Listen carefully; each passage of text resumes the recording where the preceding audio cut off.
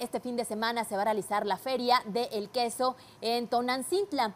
Esto es como parte de la tradición, por supuesto es una zona donde este tipo de alimentos que provienen de los derivados de la leche de la vaca, bueno, pues pueden disfrutarse. Así es que ya lo sabe, simplemente hay que acudir a Tonancintla, habrá diferentes puestos para que usted pueda pues adquirirlos y también degustarlos. Vale la pena que los que lo visite, es parte de las tradiciones, estamos en temporada de vacaciones, así es que es parte de los atractivos que se están mostrando. 1, 2 y 3 de agosto, usted puede acudir y entonces ahí podrá entonces disfrutar en familia.